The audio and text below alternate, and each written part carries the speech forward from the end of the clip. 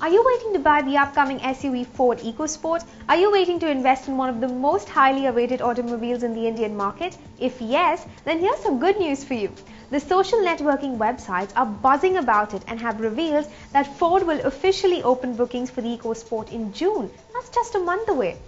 The uncertainty about EcoSport's launch date was killing the excitement, but Ford regained confidence when it showcased the car a few days ago.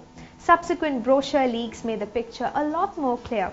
In case you haven't read about the different variants of the EcoSport, have a look at it here.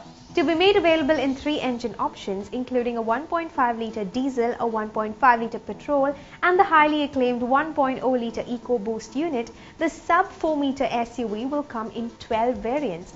A manual transmission will be available for all the engines, while an automatic gearbox will be available only with the 1.5 litre petrol in titanium and titanium plus trims. And the same goes for the 1 litre EcoBoost engine SUV2. It will be available only in the two high-end trims. Trim levels include the base ambient, slightly better equipped Trend and the high-end titanium and titanium plus.